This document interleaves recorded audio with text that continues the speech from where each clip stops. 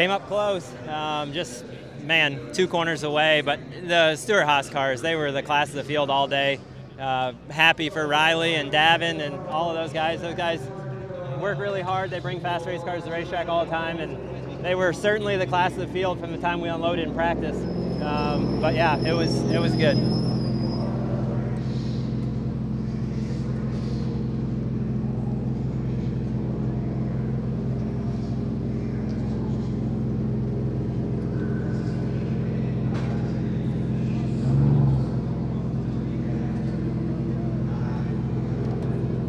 That was fair racing what he did. he's going for the win at Indianapolis, right? Like I, I don't think I would have done anything different. I know he kind of doored me getting into four, but I mean, I, if not, I was going to put it on his door and try and suck him around or get him loose so I could have the run to the, the finish line. Um, he did exactly what he needed to do to win the race, so I don't blame him. Um, yeah, those those guys were the fastest race car on the racetrack, and they won the race.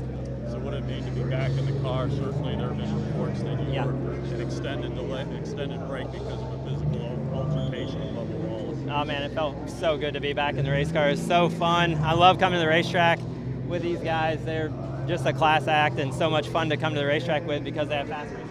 I had to let them go into one, and then I was hoping, you know, they'd get together off four, and they did a little bit, but I needed them to slow down just that little bit more.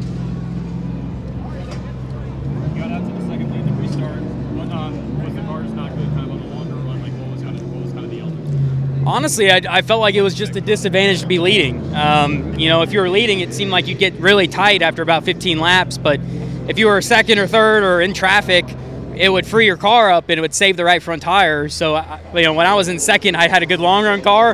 When I was leading, I didn't have a good long run car. So it was, uh, we just need one less lap. You know, I think we had one less lap. I think we've been kissing the brakes. But uh, awesome. Really happy for Riley and that whole team. They did a great job all day and awesome for SHR to get 1 2 finish. This is Custom Patch Hats. But what makes us custom? Well, that actually begins with you. We're just bringing your unique vision to life.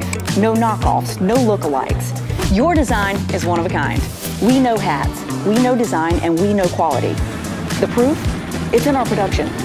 Hand stitched with precision and care, with brands you know and trust. A one of a kind patch deserves a one of a kind treatment.